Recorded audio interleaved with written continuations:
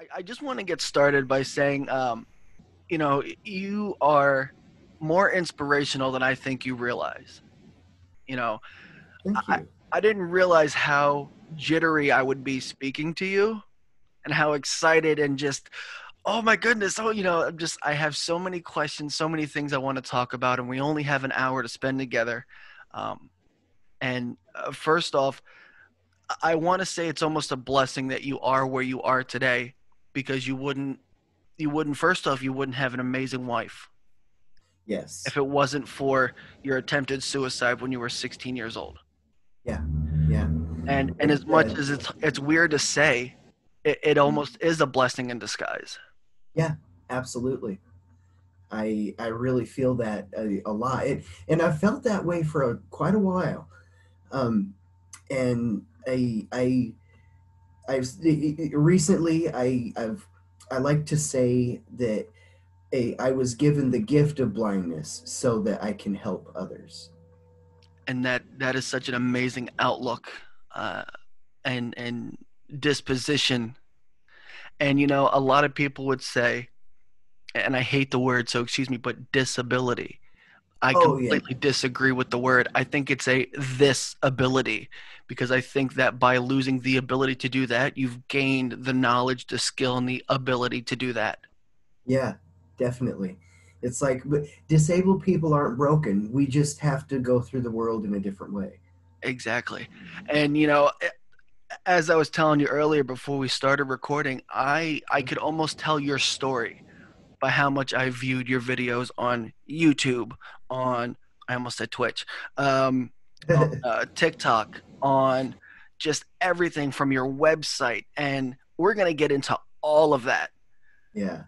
But yeah and that that is all because of annie i don't really i i am not a computer guy like that's that's something that's actually been a problem as a blind person but it, without annie nobody would know who i was and and and I don't know if she's sitting next to you, but hello, Annie, if you are.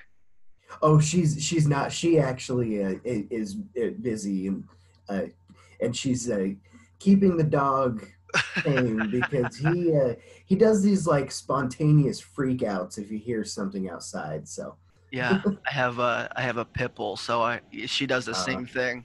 mhm. Um, and, and you guys are both artists in your own right. Yeah. You're a, a a wood master. I almost want to call it. You you Thank you. you've worked wood. You've worked pianos.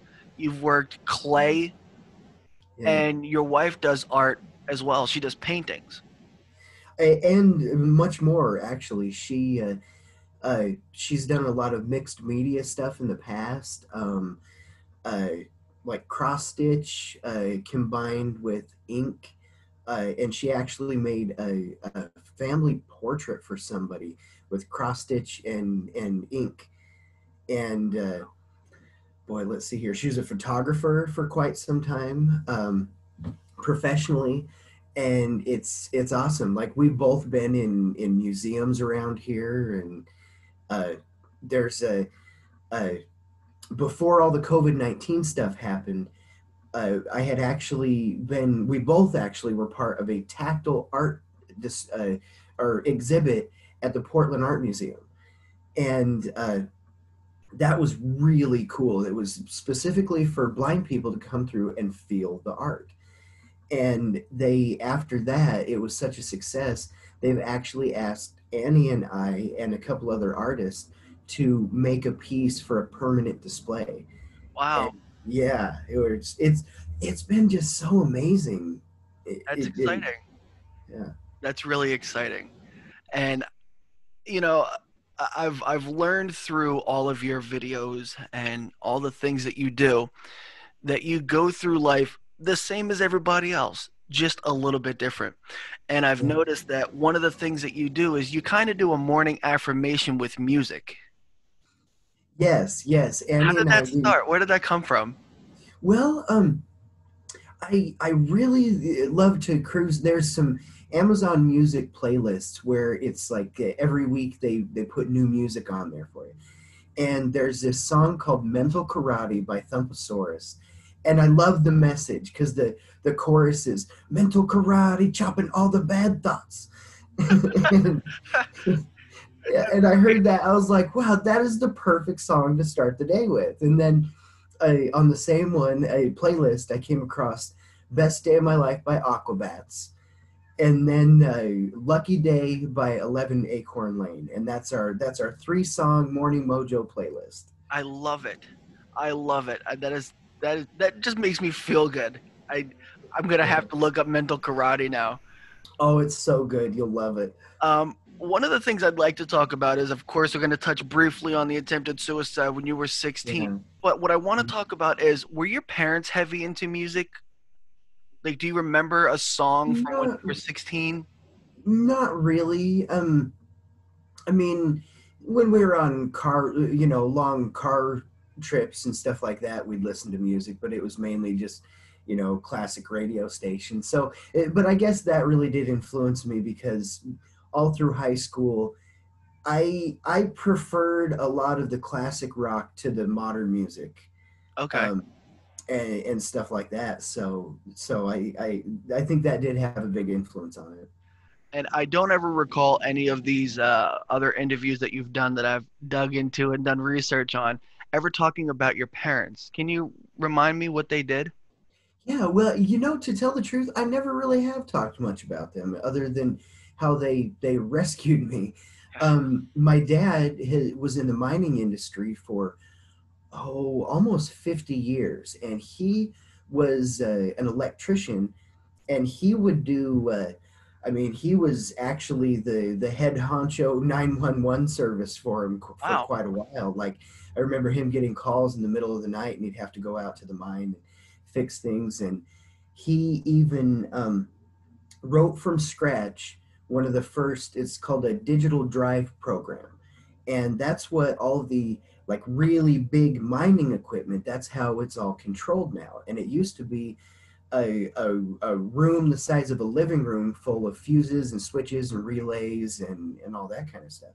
And he, he wrote a computer program that condensed all that down into a computer about the size of a refrigerator and I remember he spent months and months on that. And now the the industry standard is digital drive systems. That's neat. That's really yeah. neat.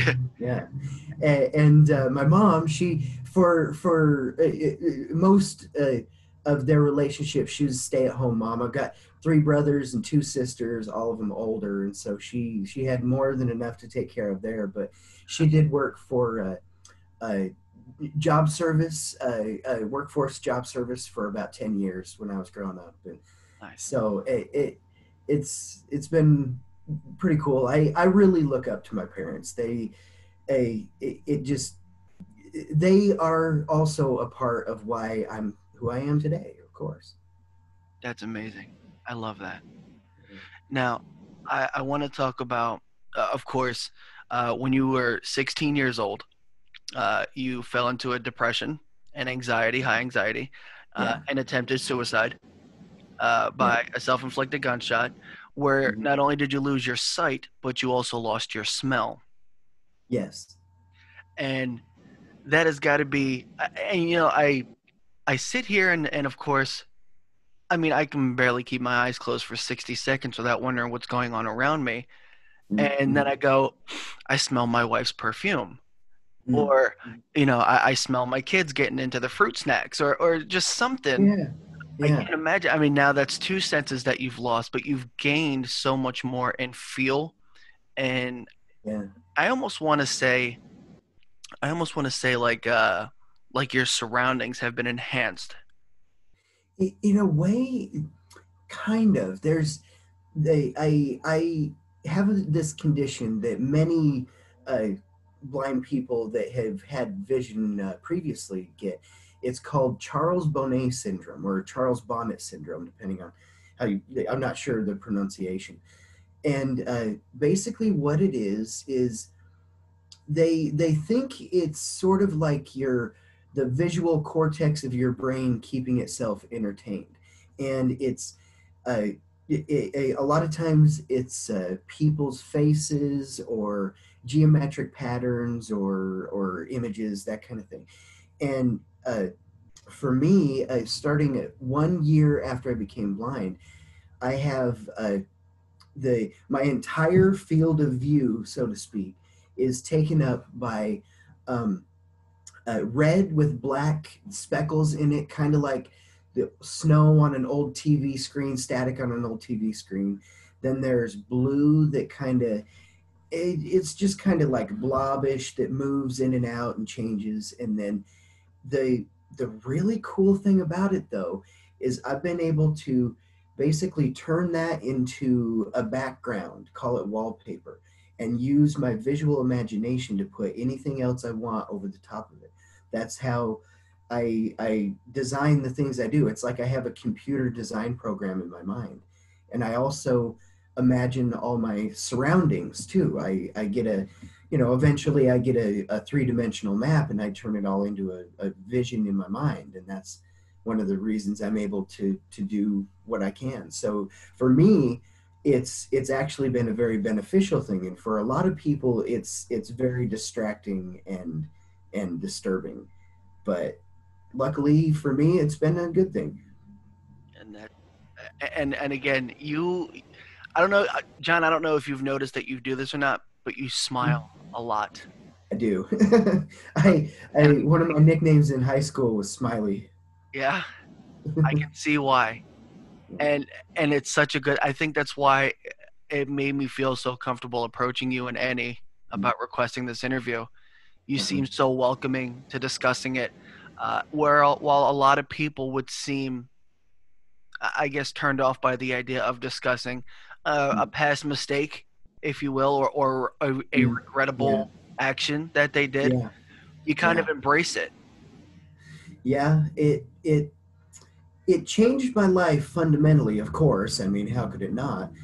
But it, I guess, since I was a teenager, I wanted to be as normal as possible, and so I approached it almost as a challenge and and my my visual visual imagination uh, has like right from the start was very sharp, and I think I because I I had seen everything where I was in my in my town, so I could just just you know like I said I could see it. I knew exactly where I was and what was around me, so that helped me kind of sharpen my skills a bit.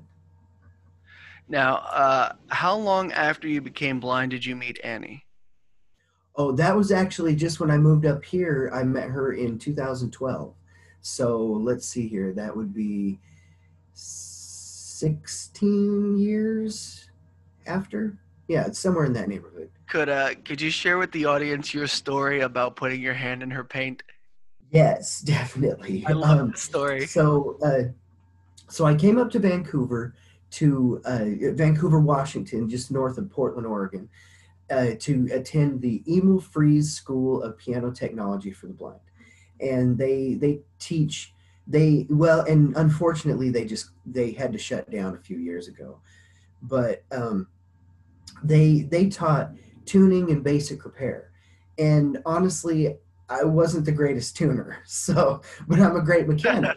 so uh, I uh, there's a gentleman there named Rick Patton, who uh, he was going to retire, uh, and he wanted to pass his knowledge on, and so and he saw some of the uh, woodwork that I've done, and immediately uh, decided to mentor me, and so I I was actually it was summertime and so I was there even through the summertime because I was learning to restring pianos and new hammers and the, the whole bit right from the ground up. And Annie was painting a piano for a fundraiser uh, that they did every year. And so I, I walk into the workroom where she's painting the piano and I'm also fixing a, a separate piano. And like a like an iron bar to a magnet, just hand in the paint. That's if, if, there's wet paint around, I will put my hand in it. between between mm-hmm. you putting your hand in Annie's paint, between mm-hmm. your first date, picking peas, yeah. and your goblin friend that follows you around, John, I just I love hearing you. I just I love hearing you speak. Thank you. I, One of the things that made Annie fall in love with me is I had a playlist that I was playing, and I had uh, "Big Yellow Taxi" by Joni Mitchell on there, and and she said that was one of the things that made her fall in love with me.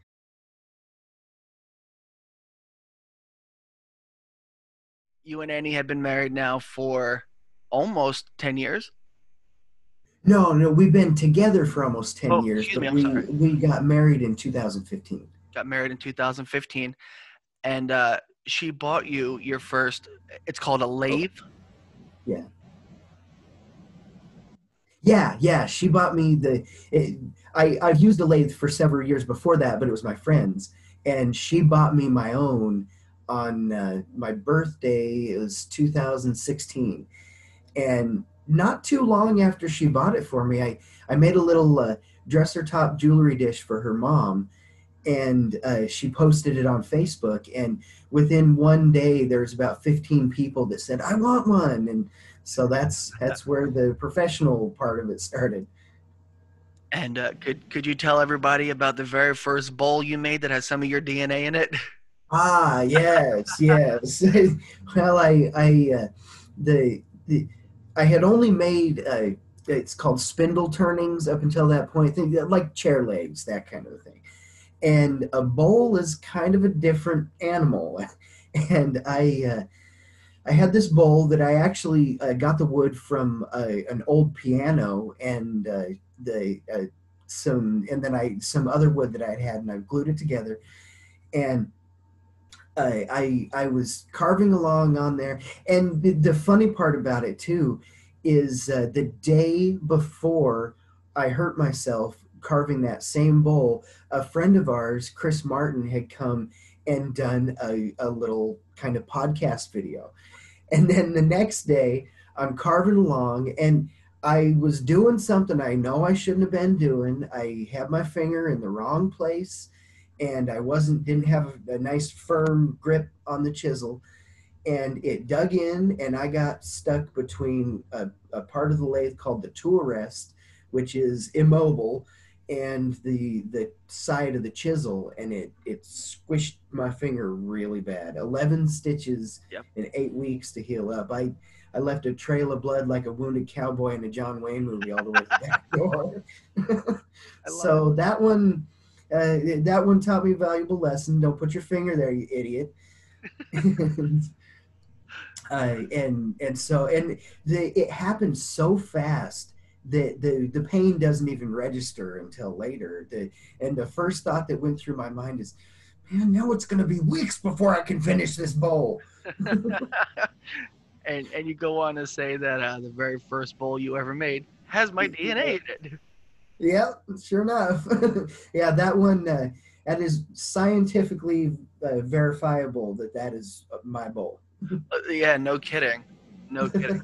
now, uh, of course, where do you find time? Because between between wood carving, uh, what do you call it? Cooking in the dark, Uh, you're cooking with the lights out. cooking with the lights out. Sorry. Yeah. Um, no, it's okay. and and all these other videos that you and Annie actually do. I think you've really like embraced TikTok and and YouTube Oh, more.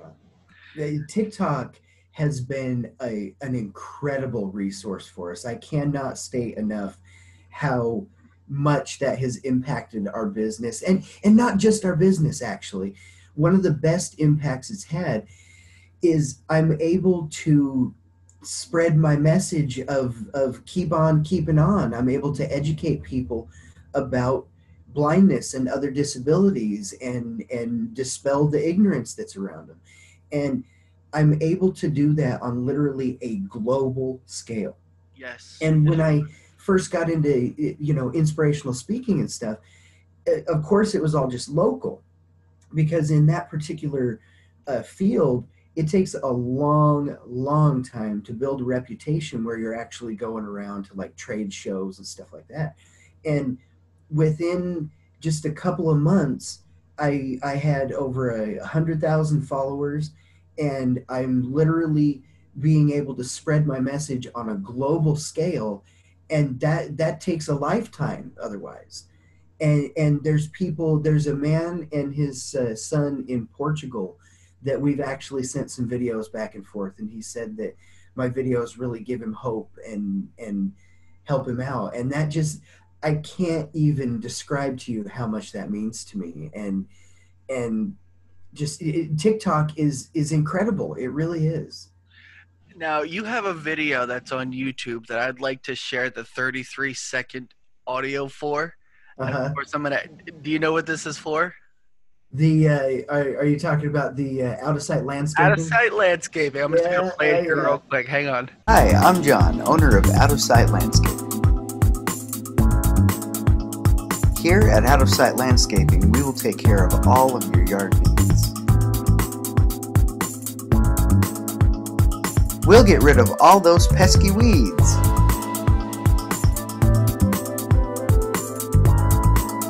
We'll help keep your lawn healthy and vibrant. At Out of Sight Landscaping, our slogan is Looks good to me. And we hope it does. And you have a sense of humor, John. That's the best part about it. Thank you. It's Yeah. like like It- when you were it- you were pushing that lawnmower and you bumped into a tree and then started a fight with the tree. Yeah, yeah, yeah. Annie and I had a lot of fun putting that one together. I, I would love I, I would love to just spend a day just kind of watching you go. I mean, again, between woodworking and and living life, and of course, you mentioned you have a dog, so that's got to be you know it's another thing that you know. Here's the thing: mental map, absolutely, totally get it. But when the dog gets by, it's like, oh, wait a second, where are you? Well, the the, the dog is pretty easy to keep track of. we got hardwood floors and he Ah, and cracks all over Very the good. Okay, you see, Eh, my uh-huh. my wife has bought me a new wedding ring every two or three years uh, since we've been Uh-huh. married. We we got married in our early twenties. We'll be married uh, nine years this year. So I've grown out of four or five different rings. She bought me a Uh-huh. necklace to put it on, and I think I think she uses it as a cat bell, Oh yeah. so she knows That that I'm. she knows you're coming. well, this way she knows that I'm hanging out in the pantry too long. oh yeah. And I'm like, oh, that can't be my keys. It's not my keys at all. It's it's these four rings around my neck. I'm like, ah, she Yeah, got me. For uh, Annie and I's second wedding anniversary, I made wooden rings for us, and she wears hers on a necklace. That's neat. See, I've always I've always been interested in that, but I was always been afraid of uh, splinters and swelling. Yeah, well, I mean, as far the as far as swelling goes, it doesn't. The wood doesn't really, and uh, splinters. I I sand it super smooth, so there's no possibility of splinters. Nice. You know, I I want to talk about, of course, uh, how you've adapted uh, in life to woodworking, and I forget what you call it, but you have a specific tool that helps you measure. I forgot to grab it. I do. It's called a rotomatic, um, and it's very simple. I, there's actually a video I put on TikTok about it. Yes. um, and it's a it's basically a, a threaded rod six and a half inches long and it's machined uh, flat on the top and bottom and then on the top it has a tab that sticks up every half inch and then there's a, a wide rectangular shaped nut and locking nut that every every full turn of that nut is one sixteenth of an inch and let me tell you, I can measure more accurately with that than I ever could when I could see. It's just, it's such a nice tool, and it's so simple. It's it literally just a, a special bolt with some special nuts on it, and and some aluminum extensions I can uh, attach to it also. Now I can't remember. Did you make that, or did somebody make that for you? No, I actually bought that from a company called Science Supplies for the Blind, and I got lucky too. They stopped manufacturing them right around the time I bought mine, and uh, I, I I got one of the last five in the in it, that had ever been made, and uh, luckily I have a friend who's a machinist, and he made me another one because it's really handy to have two Nice. uh, but the the patent expired.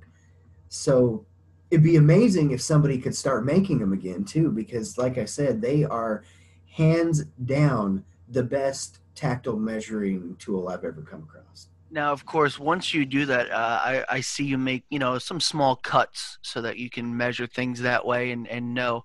But you've been you've been doing handwork for as long as you've been alive. I remember, I think it was in one of your videos, you said it was like a week or two after you had uh, gone blind, you were changing the wheel bearings in your car. Yeah, yeah. I I've I've loved mechanics all, all my life. My dad and I, uh, when I was growing up, I'd always help him fix cars, and so I helped him replace a couple of uh, uh, axles, the front axles in some cars, wheel bearings, uh, front and rear brakes, uh, spark plugs, oil changes, all kinds of stuff.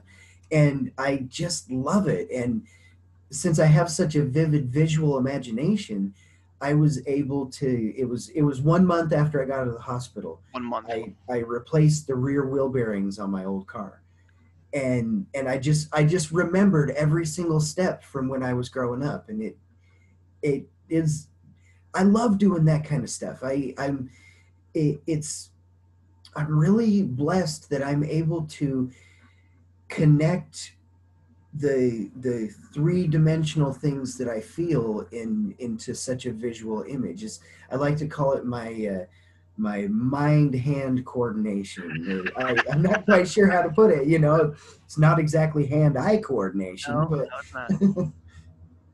and of course, you have uh, you have silly names for some of your tools. I do, I do. the The biggest chisel I have, I call Big Jake. I'm I'm a big John Wayne fan. Yeah. And so uh, I got Big Jake and Mississippi. Those are from John Wayne movies. Um, I, I've got these two big old chisels that look almost like tomahawks, and so I call them battle axe one and two. and, and then I got this big sander that sits on its own pedestal, and that's Colonel Sanders. That's right. That's right. Now it's also because of your relationship uh, with Annie and the community uh, of just being you. You've developed uh, local sources for your wood. Yeah, yeah. There's a there's been several times that people have donated fresh fallen uh, uh, trees, the the wood that they've gotten from it, and then uh, there's a friend of mine that lives about oh seven miles down the road, uh, and he has a farm, and he's also a wood turner, and he's got piles of stuff that he's harvested over the years that it's even all seasoned and ready to go, and that's been pretty cool because I love this area. When I first moved up here, I, the only way I can describe it is I felt like my soul was home, and and so I just I love to use the wood from this area too. I bet that's really comforting. It is. Yeah, I said I'm I'm from New York. I can sleep. I, I can probably sleep on the streets of New York and fall right to sleep with the sounds of everything mm-hmm. going on. You know, the cabs going by, the horns, yeah. the you know yeah. the steam pipes going. My wife would have a hard time concentrating I, I would probably have a hard time with that too, growing up in small towns where, I mean, in in uh, the town I grew up in, uh, Craig in Colorado, it's small enough that past about ten thirty, it's like a deserted movie set.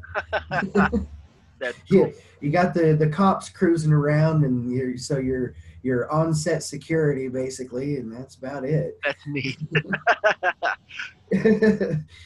John, what's in your playlist right now? Oh boy, tons of stuff. I uh, I've got a, a, a, playlist I call Working Tunes that's about thirty hours worth of music. Nice. You and, want, one of uh, those? Uh, there's everything from Marilyn Manson to Jason Mraz. There's uh, Fitz and the Tantrums, Alison Krauss, Katy Perry, uh, Stone Temple Pilots, Jimi Hendrix, uh, just all over the place. Um, Mike Dawes, that's one of my favorites. He's a fingerstyle guitarist, and uh, he it's if you're not familiar with fingerstyle guitar, it's uh, they they don't just just strum it. They they uh, tune their guitar specifically so that the top string is a lower octave than usual to be the bass. Um, the uh, other strings are tuned a little bit slow, uh, uh, slack, so that they can slap it and make it like a snare drum kind of a sound and then they they tap their fingers on the guitar even like slide his fingers up and down to make kind of a zip sound and it sounds like there's three different people playing guitars and uh, it's just amazing. He he's an English uh, musician.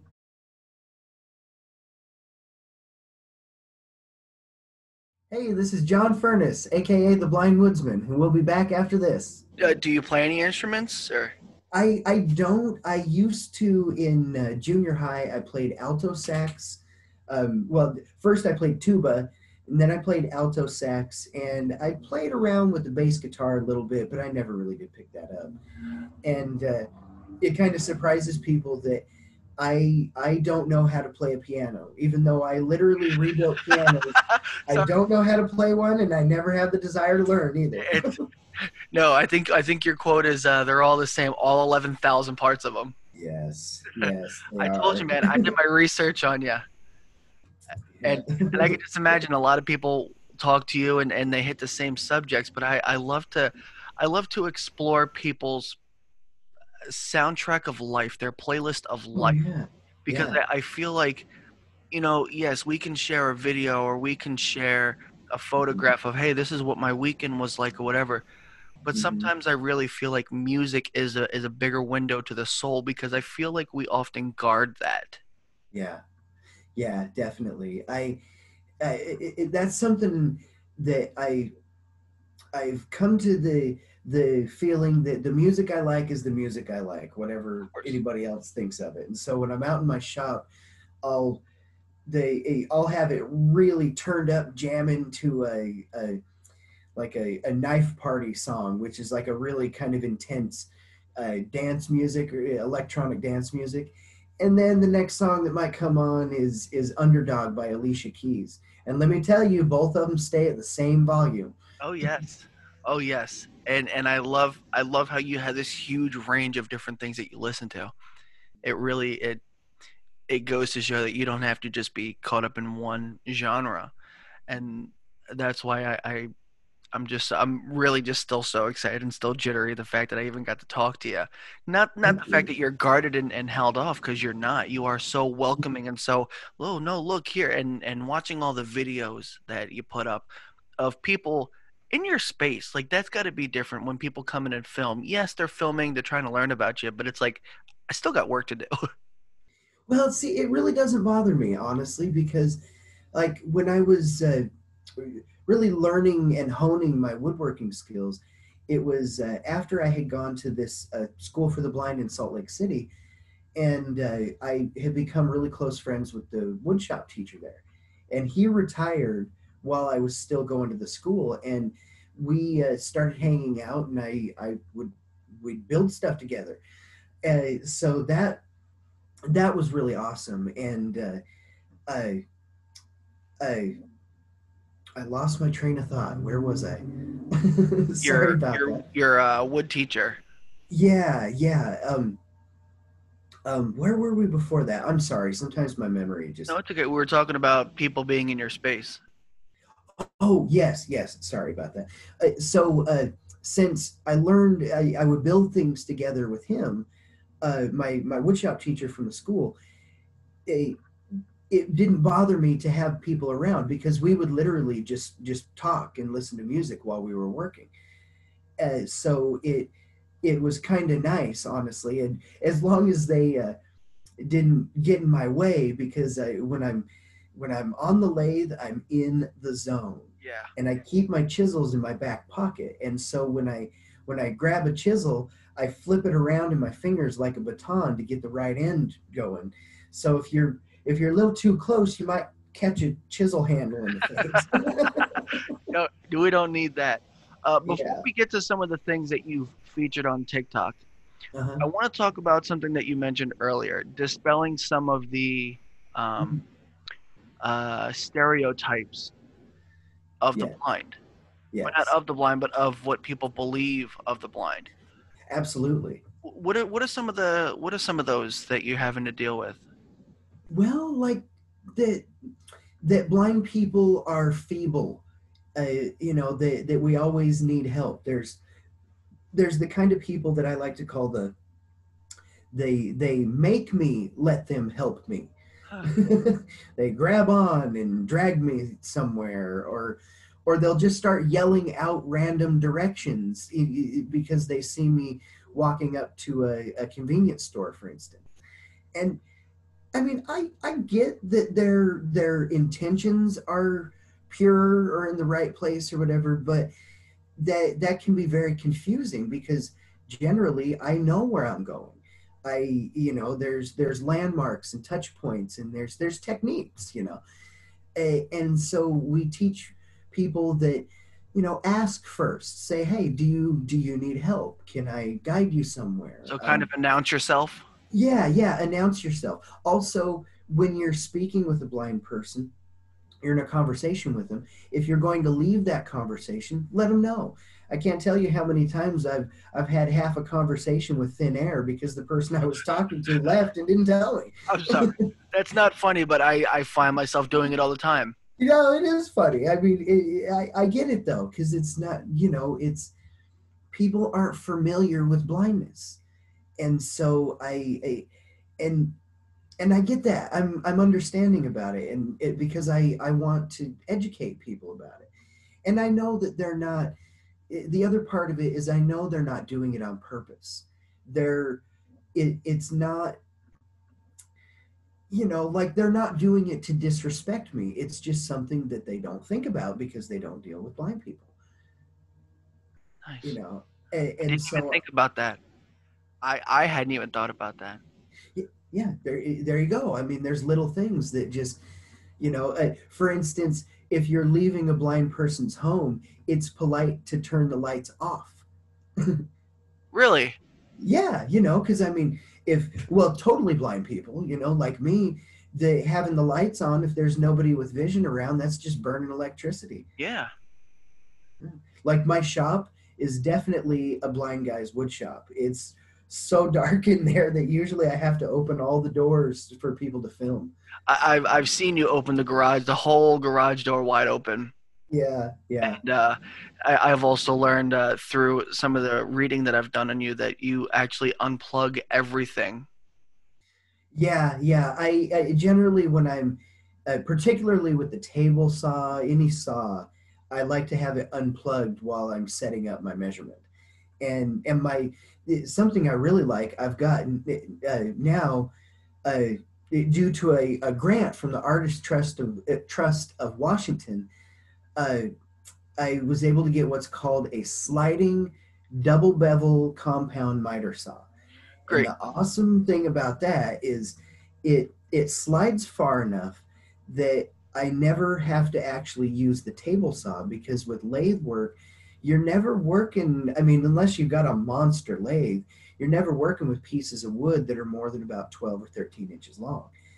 And so I never really have to use my table saw. And the beauty of the miter saw is it's it's set up on its own stand and it's all a, a, a contained or whatever. And when you set up your cut, you can clamp the wood down to the stand of the saw, and then I never have to have my hand anywhere near the blade at all.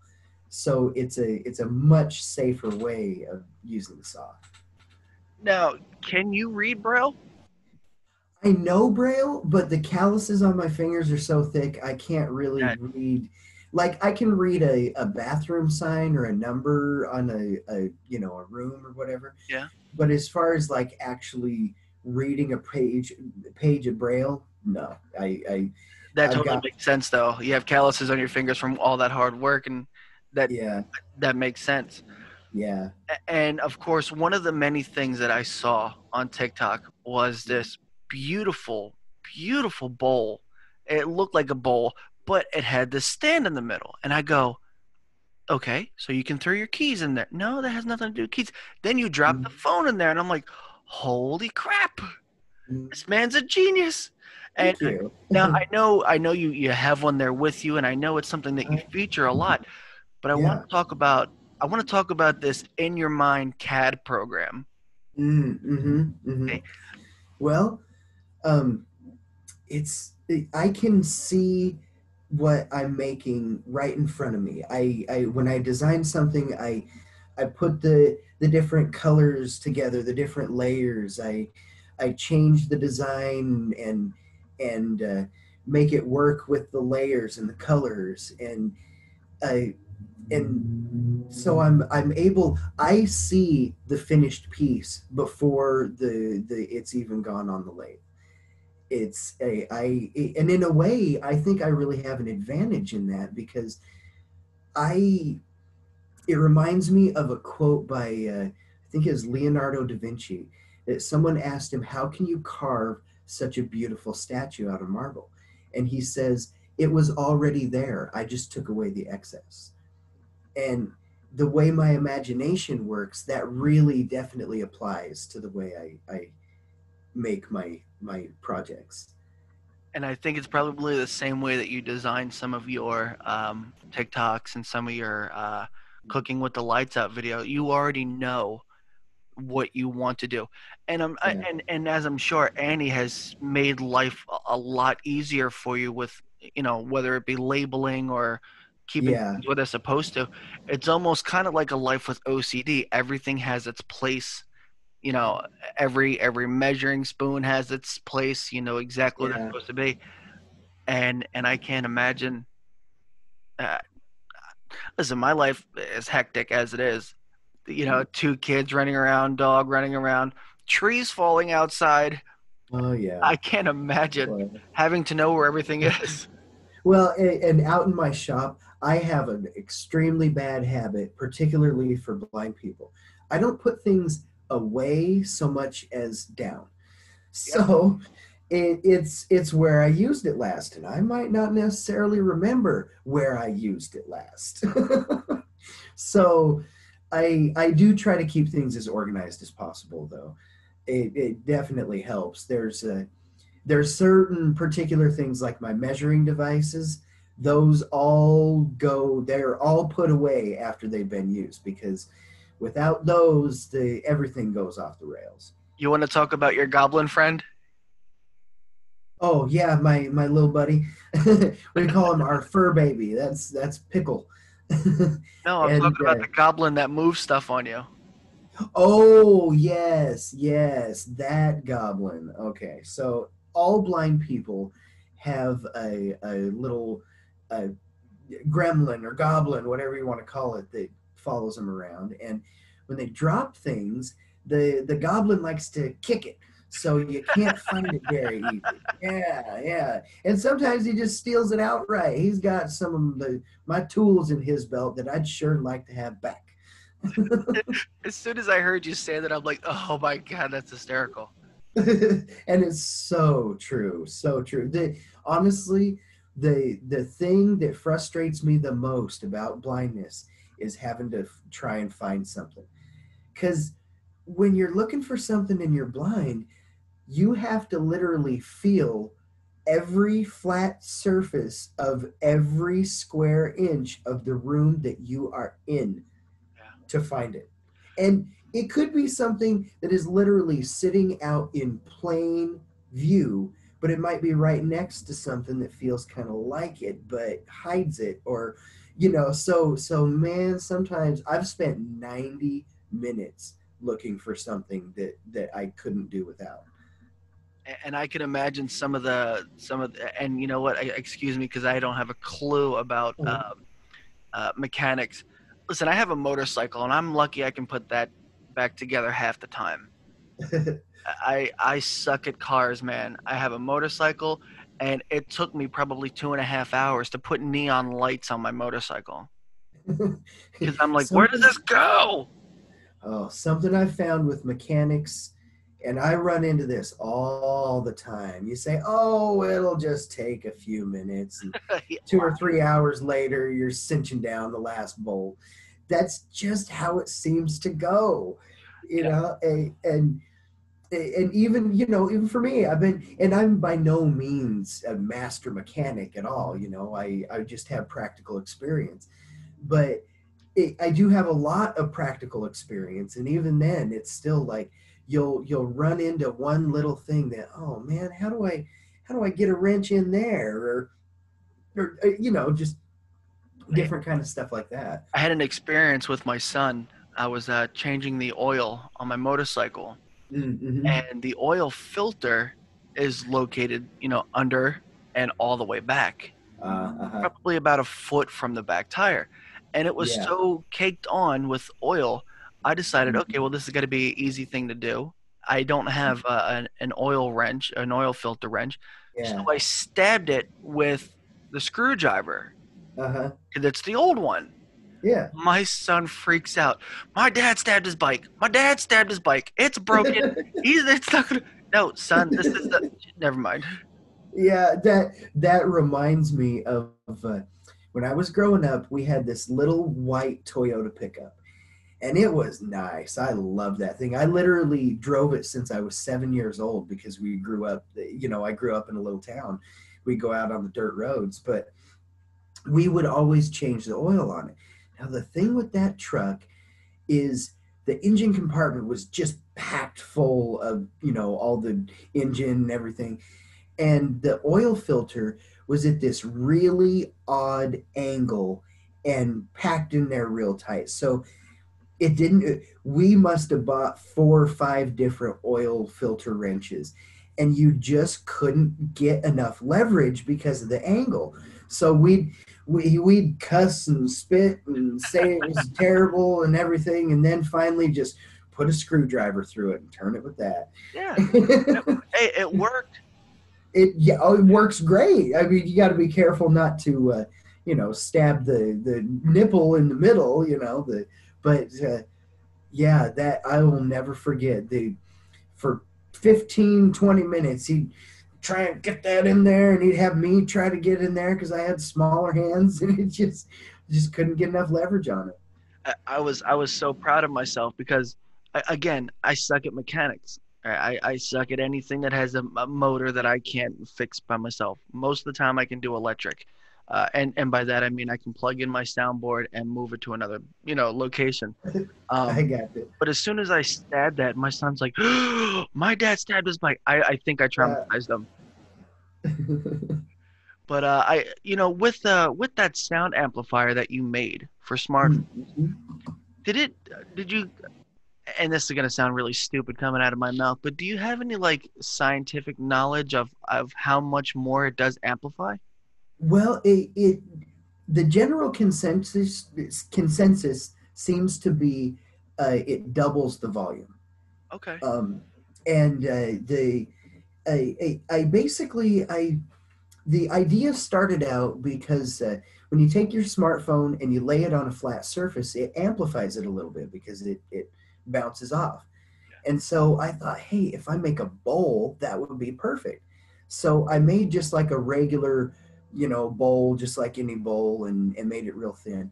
And when I put my phone down in there, it sounded terrible. It didn't even sound as good as when you put it on a table. So I sat back, sat down and thought about it a little bit. And in the past, I had made this bowl and it had a, a flat bottom and the side came kind of straight up.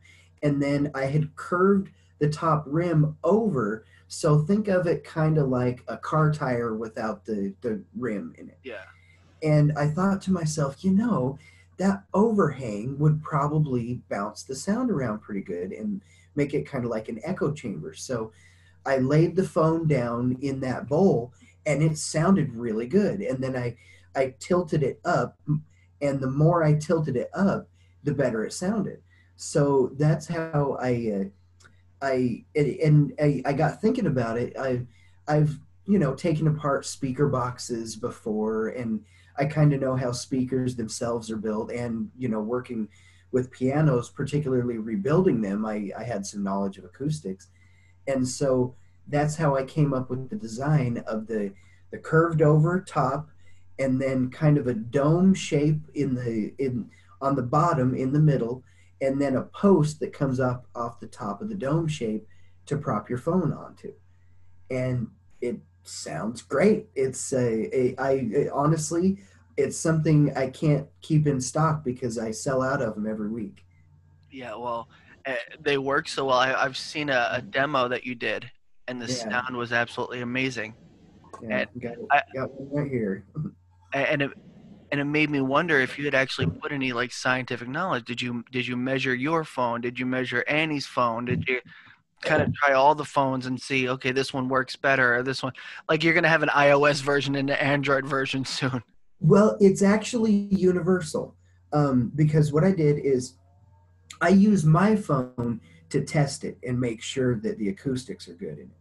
But I've got a, a wooden dummy I made of a, a big, like the Galaxy Note 8 with a case on it. And so I, I've made it so that it's universally sized. It'll fit the biggest phone or the smallest phone. And I, uh, I carve ridges into the side um, of the, the amplifier and that way with the smaller phones you can still prop it up at the proper angle because the the angle really does make a difference and so you're able to uh, wedge the bottom of your phone under those ridges and keep it propped up at the right angle and and so i and there was a lot of you know i i it, this is the the latest design you know what i mean and and it took definitely some trial and error and a little bit of, of tinkering around, but I'm pretty sure I've got it tuned in as good as I can now.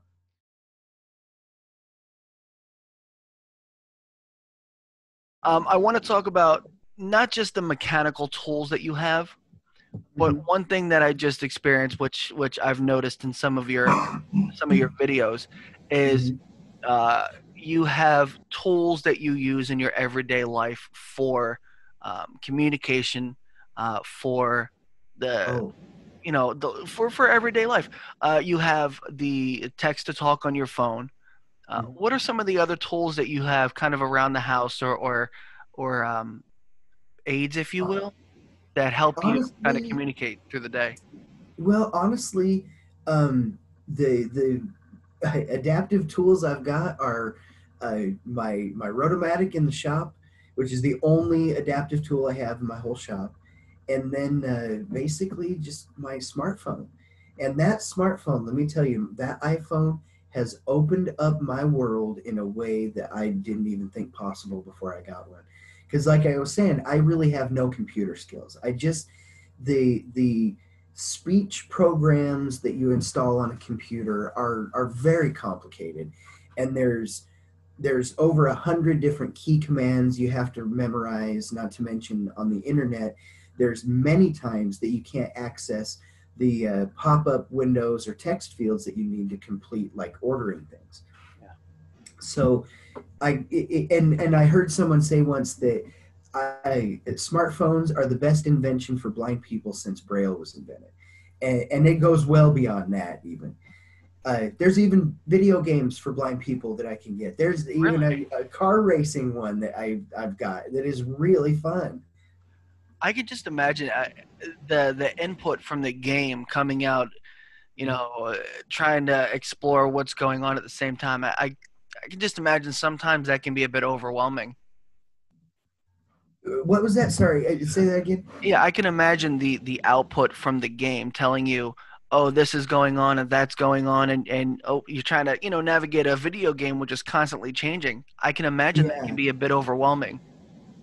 Well, the the games are designed specifically for blind people, so it's it, they're very friendly in that way. Like the the it, calling it a racing game is kind of a a, a a deceptive term because it's more like a driving game. You uh, you put headphones on and you hold your phone sideways, and uh, there's music that plays. And as you drift to one side of the road or the other, the music drifts to one headphone or the other. Oh wow! And then, uh, yeah, and then uh, there'll be like a cow mooing in the road that you have to avoid, or uh, there's an elephant that'll stomp on you, and, and there's prizes that you have to get. Are You you know, playing? so, Are you playing Jumanji? What is this? yeah, yeah, exactly. You know, but it's it's tons of fun, and there's, uh, I mean, I've got Battleship. There's Space Invaders. There's one uh, uh, like Pong, uh, Frogger. There's tons of them. Wow. And uh, and your phone, um, it, it it's just the programs that are on it that have opened all this up for you. Yeah, yeah, absolutely. The uh, voiceover is what the uh, uh, speech software is. I mean, there's Siri, which is the voice commands, but voiceover is the uh, uh, when you turn on that in accessibility, that's when it, it activates the blind friendly uh, part of it. And the funny thing is, when voiceover is on, it is almost impossible for sighted people to grasp how to use the phone when it's on. Because the, the way it works is uh, you you you touch an icon or or whatever it, it may be on the screen with your finger. Now that highlights it. Think of that like putting your mouse cursor on the icon that you're going to activate. Yeah. Then you double tap the screen and that activates it. So, but here's the the catch. Um, whatever you highlighted last, whenever you double tap the screen, no matter where you double tap the screen, it's going to activate whatever was last highlighted. So it, it, it, they so for instance, the weather icon will be a, a highlighted on the home screen, but they want to go into Safari, and I'll tell them, okay, you gotta you gotta touch it and then double tap it, and so they just double tap it where that is, and of course that takes them into weather, not Safari, and I try to tell them, no, that's not how you do it. I could just imagine you being a prankster. hey, I do love to tell blind jokes, honestly. Do you really? I do. I love it. Do you have one for us? Well, okay, I'll I'll tell you my favorite one. It's actually on on TikTok, but it's been a while, so you'd have to dig for it. But okay, so there's this plane full of people, and uh, they're they're waiting for the pilots to get on, and the, finally the pilots come on, and uh, they're both wearing sunglasses, and one of them has a white cane, and the other one has a guide dog, and everybody's kind of laughing like, "Oh, these blind guys are messing with us." And but they they go up and they go in the cockpit and they close the door, and the the engines start up and they taxi to the runway and and they're going faster and faster and everybody's they're freaking out. They look and they see they're about to go off the runway into the water.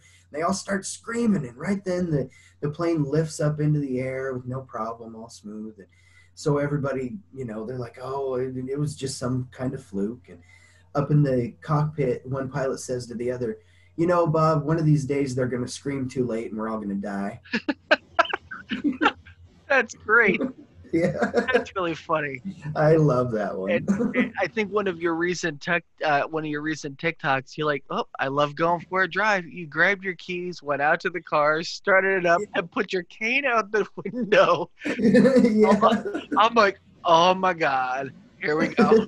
this is a great adventure." yeah, it's it's fun stuff. It, I- I've learned that you know, laugh at life. It really it helps a lot. Sometimes it's really hard to do, but it's it's better if you can try and find the the absurdity in it. Just I I did I've done some some unintended gymnastics before. Let me tell you. There's a- When you had your lawnmower at the bottom of the stairs. yeah, yeah, that's the one. That's the one, and others. But but that one was like it happened so fast, and I landed so perfectly on my back. I I thought, did I did that just happen, or did I do that on purpose? That's funny. and I wish someone had been there to see it, because let me tell you, that would have been a sight. I know it. Oh, jeez. So, is there is there anything like a texture wise that you still find uh, a little difficult? Is there what now? Is there a texture that you still find a little difficult? Um, not really. Most most textures don't really bother me much. I uh, No? it it I love something I love is uh, when you on the lathe when you're finishing up you you sand while it's still on the lathe you just turn it on and hold the sandpaper on there and the cool thing about it is if you if you're feeling the wood while you're sanding it you feel it get smoother and to me it's almost like rinsing dirt off of something and and a, each successive you know grade of sandpaper makes it smoother and smoother and it just i in my mind it feels like it's getting brighter and brighter i don't know i i love that That's a great analogy. I've never thought of that. Hmm. Like I was wondering, like uh, over your left shoulder, there's a Hmm. wicker basket. uh-huh So I can imagine, like, oh, which which basket is this, or or You know, like Mm. there's a weird like my son gets really weird about textures. He loves Yeah. Pop Tarts, but he hates like frosted mini wheats. He doesn't like the Mm. texture in his mouth. Uh, yeah, My son was also born three months premature and uh, has autism. Mm, So there's just some weird textures. He loves my soundboard because he's all the different colors and and things Mhm. like that. And I go, great. I I'm glad you like it. Don't touch. I have yeah, everything, I have everything put the way it needs to be put. And and just kind of watching him explore things. He hates a fitted sheet on his bed. mm, He mhm. loves he loves the feel of the actual bed that he sleeps on Oh, instead yeah. of a fitted sheet. So I didn't Yeah. know if there was any weird like textures that you didn't like or No, I mean, I, I would say there's more the ones that I like than not. I mean, I, of course, like something that's slimy is not fun, but nobody likes that. Uh, uh, but uh, for the most part, like not, not really. Just you know, I I love when the my wooden pieces are sanded as smooth as glass, and I I love running my fingers through sand on the beach. Uh, stuff like that. That's that's fun. That those textures are nice. Nice. Um, so uh, it, yeah. it's still very sensory. Oh yeah, yeah, definitely. And uh, you know, it, it- not having a sense of smell is definitely a bummer, but it, it's something that I don't. I don't really notice it as much. Um, a- and sometimes it's definitely a blessing, not a curse. Yeah, I can imagine it is. Yeah, yeah, and and it uh, well, and and s- the a lot like the uh, the uh, uh, colors and shapes that I see all the time. I get phantom smells sometimes too. I was gonna ask about that. How does yeah, how I do. that work out? It, it, honestly, usually it's good. It's like, oh, that smells like sage or or cookies or something. And every now and then it is like, hmm, man, that's funky. What is that? Sorry, that's pretty funny. I, Uh, you know, uh, and I was, you know, because uh, I forget the name of the the syndrome that you called it. The Oh, Charles Bonnet syndrome or Eh, Charles Bonnet. is that like phantom pains, I guess, or like phantom sight, or Yeah, I it is also referred to as phantom visions, and it's something that has not been very well studied, and so it's not understood very much. It's more the the part about your brain continuing to fire to to keep itself entertained, so to speak, is is one of the theories. Or so I I I really don't know. I mean, I kind of think that it is that, but in my case it's not just i mean oh how can i put it? Like yes the colors and stuff are random in their motion. Very kaleidoscopic actually. Ooh, um, but i'm able to visualize anything i want over over the top of that. And so for me it's been very beneficial but from what i've been able to uh, find out in just investigating it for most people it's very disturbing or distracting because there it's it's like images of people making nasty faces or it just different things like that. And for me luckily it's it's just shapes and colors and that kind of thing. And let me tell you at first that was really hard to get used to because there's no getting away from it. I can't close my eyes. There's no turning it off at all unless i'm asleep. So getting to sleep was pretty difficult and and sleep insomnia in general is very common for people that have gone blind really? yeah yeah because the the the cycle of light and dark the day night light cycle triggers hormones that are are connected to your eyes um, when it gets dark it triggers uh, melatonin um, when it uh, gets light it i think it triggers serotonin Serotonin. But I it- think that sounds right. Yeah, yeah, but but it releases it, it- that light cycle very specifically uh, causes the release of those hormones, and so basically, I sleep when my body needs it, and I don't when it doesn't, uh, and that I mean, there's sometimes that I have been up for three straight days Wow. and just not able to sleep. And at, at one point during those days, feeling like I might never sleep again. Jesus. I can't imagine. I was gonna ask how your like what's it called circadian rhythm. Mm, You know how yeah, how it- that's you know how you've adapted to that. But I'm sure, of course, now the sounds of where you are can kind of trigger that. Oh, well, it's getting a little bit quieter out, or you know now you can hear the birds chirping a little bit, a little bit more. Yeah, and I do keep track of time. I, I like to. I, I've even got alarms that eh, that go off throughout the day to kind of help me keep track of time throughout the day. Particularly when I'm in the shop on the lathe, I I can get lost for four or five hours and and not even realize it until I turn off the lathe. Really. And you know, and it's it's not great. You know what I mean? That kind of it, it makes me mighty sore. And uh, and there's also a lot of times since I'll I'll fall asleep around nine, I'll wake up around two, and then I'm I'm up, I'm bright eyed, I'm bushy tailed, but nobody else, the the whole world is asleep until seven or eight o'clock, and that's when I start getting sleepy again.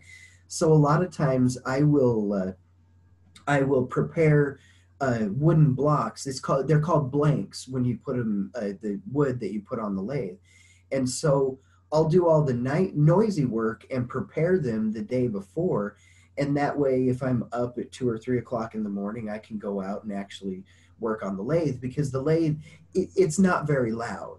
You know, but preparing the blanks, I have to use the saw and my sander, and those definitely are very loud. So you kind of prepare everything. I like that. Yeah. You know, I, I want to ask you a couple of questions. It's a little game I like to play with some of my guests. Hmm. It's called This or That. Okay. Uh, now, of course, uh, some of these aren't. And we'll just play. Uh, cat or dog? Dog. Dog. Okay. You said you have one named Pickles, right? Yeah. Pickle. Pickle. Just one. Yeah. Uh, yeah just Net- Netflix or YouTube? YouTube. YouTube. Okay. Toast or eggs? Hmm. That's a tough one. Kind of depends. Uh, right now, I say toast. All right. Cardio or weights? Weights. Weights. All right. Facebook or Twitter? Mm, I Facebook definitely. Facebook. Uh, ice cream cone or snow cone? Ice cream. While walking, music or podcast? Uh, I actually I I don't listen to anything while I walk. That's not a that's not a great idea very for a blind person. Just I just realized that as it came out of my mouth. it's all good. Yeah. Uh, swimming or sunbathing? Hmm. Sunbathing. Sunbathing. High tech or low tech? Hmm. Probably usually low tech to tell the truth. My high tech is my phone, but otherwise, you know, low tech. Nice. Uh, let's see here. What's worse, laundry or dishes? Dishes. Dishes. hate dishes, man. I absolutely hate it. Oh Uh, no. Let's see. Sneakers or sandals? Sneakers. Sneakers. Okay. Hamburger or a taco? Oh, boy. Hamburger. Hamburger. Couch or a recliner? Recliner. Recliner. Email or a physical letter? Oh boy. I would say email or I I mean a physical letter would be something Anni would read to me, but I yeah, I, I'd say email because my phone can read it to me. But really, phone call is what I. Phone call? All right. Yeah. Amusement park or day at the beach? Hmm. Day at the beach. Day at the beach. Yeah. Uh, the the the world famous question: toilet paper over or under? Over. Over. Thank oh you. yeah. Thank you. Pancake or waffle? Mm, Pancake. Coke or Pepsi? Pepsi. Pepsi. Uh, cup of coffee, uh, or a coffee cup of, or a thermos? Thermos. Thermos. That's right, because you do have one of those, don't you? I do. I I've got one with the nice metal lid, and I've already made my mark on it. Let me tell you. I dropped it a couple times. yeah. Meats or vegetables? Meat. Meat. Uh, let's see. Save or spend? Mm. Spend. Who who who wouldn't, man? I Uh, know. see. Oceans or mountains? Mountains. Mountains. Okay. Would you Yeah. prefer winter or summer? Oh, I guess summer. Yeah, Summer. Okay. Uh, soup or sandwich? Sandwich. Beer or wine? Beer. Beer. What do you drink? I, I don't drink. I usually don't drink much, but uh, I uh, I like a nice microbrew, like a raspberry wheat or something like that. I I actually I like to brew my own beer on occasion. I make Really? a sweet chocolate stout. Yeah, it's a yeah sweet chocolate stout with usually either raspberry or blackberry, and it's I love it. I've been perfecting the recipe since I was 18. And here's the funny thing about brewing your own beer: you can brew beer when you're 18, but you can't drink it till you're 21. It'll be fermenting for a while, huh? Well, aging anyway. Fermenting only takes uh, anywhere from three days to a month, and then uh, you bottle it and and then you age it from there. Nice. Uh, dine in or delivery? Delivery Delivery. Sweater or hoodie? sweater. Sweater. Because I know you wear your jacket like uh like uh, uh, with with your overalls. I know you wear that a lot. Yeah, yeah. It uh, I, I've got a, a sweater I like to wear out there. It, it gets a little cold in the shop in the wintertime. And uh, I also know how you and Anni like to joke that sawdust is your pixie dust. yeah, it's my glitter. That's great. I love it. yeah, sawdust is glitter for men. That's right. Uh, when sleeping, do you have to have a fan on or no fan?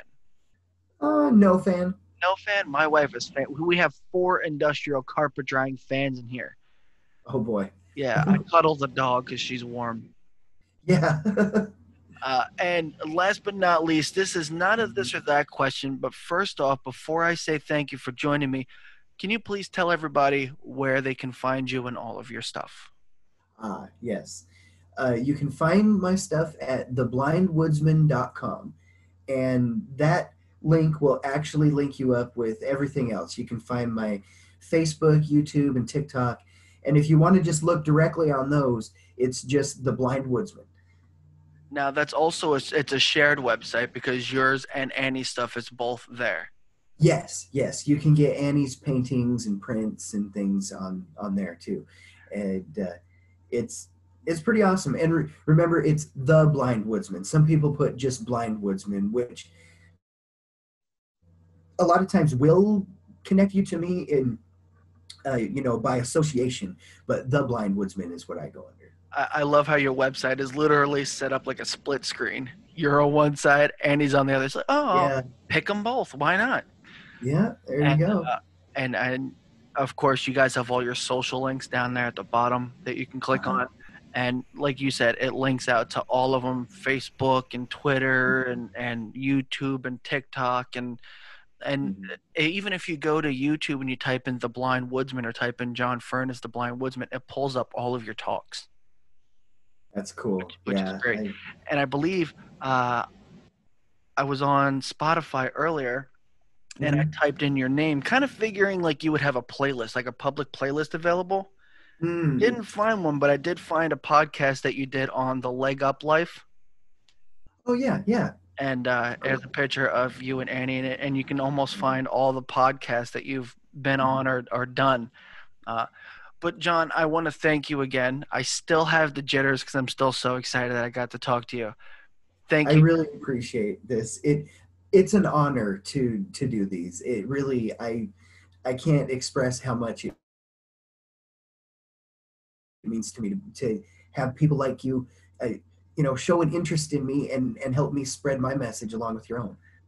and eh, I just I want to thank you again, and of course, uh, not only you, uh, but of course the person that made all this possible, your lovely wife Anni, and Yes. uh, I, I do know that you guys just recently dealt with her father in the hospital. I hope he's doing well. He is. Yes, Good. he is actually bouncing right back. Good, and uh, John, please stay safe, be careful, uh, and you are always welcome here. If you have any new songs you want to share, by all means, give me a give me a ring, give me a shout, and I would love to hear them. And of course, uh, also on the website, uh, on your website, you can also get uh, Blind Woodman stickers Yes, and T-shirts. and T-shirts, which which you just gave away a couple of uh, stickers. So uh, yeah, yeah. stay tuned to TikTok and everywhere else on uh, uh, theblindwoodsman.com and find all of John's stuff. Uh, give him a purchase. Take a listen to, to some of those demos that you see where you can uh, hear the phone get louder as soon as he puts it in there. John, I don't, I don't know if uh, you know what agape love is, Uh, I don't. where you kind of love mankind. Oh, yeah. I love you. John. I love you too, man. Thank you for I joining love mankind. Love mankind, brother. Thank you so much, and uh, thank Anni for me, and say hello to Pickle. Yes, I definitely will. You're, you're welcome and thank you. Thank you, John. Talk to you later. uh-huh. Bye bye. Bye.